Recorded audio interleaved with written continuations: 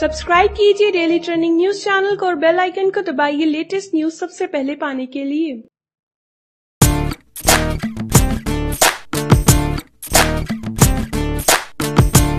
Big boss के घर में चल रहा नॉमिनेशन टास्क और आगे बढ़ा है। और इसका दूसरा दिन शुरू हो चुका है और दूसरे दिन जिनकी गुफा में गए हैं रोमिल चौधरी और इन्हें कर दिया गया है नॉमिनेट जिनने। और जिनने कहा कि अगर नॉमिनेशन से बचना चाहते हो तो सोनी खान से कहो कि इनके परिवार वालों की जितनी भी तस्वीरें उनके पास हैं, उन सभी को शेडर में डालकर डिस्ट्रॉय कर दे। और फिर रोमिल चौधरी गए सोनी खान के पास और उनसे पूछा कि क्या तुम मुझे नॉमिनेशन से बचाने के लिए अपनी फैमिली की सारी पिक्चर्स को डिस्ट्रॉय कर दोगी? ये सुनने के बाद सोमी थोड़ी इमोशनल हो जाती है और अंदर जाकर अपने परिवार वालों की तस्वीरें लेकर बैठ जाती है और उन्हें निहारती हुई और रोती हुई नज़र आती है। लेकिन फाइनली अपनी दोस्ती को याद करती है और रोमिल चौधरी, जो की उनके बहुत अच्छे दोस्त है, उनके लिए वो सारी तस्वीरें बाहर लेकर आती है और उन सारी तस्वीरों को शहर में डालकर नष्ट कर देती है। और इस तरह से रोमिल चौधरी नॉमिनेशन की प्रक्रिया में सेव हो जाते हैं। बिग बॉस बारह से जुड़ी ऐसी ही कॉन्ट्रोवर्सीज लड़ाई झगड़े, हँसी मज़ाक, मौज मस्ती और बिग बॉस हाउस से जुड़ी और भी कई खबरों के लिए बने रहे हमारे साथ, क्योंकि आपको बिग बॉस बारह से जुड़ी हर लेटेस्ट अपडेट सबसे पहले यही मिलेगी।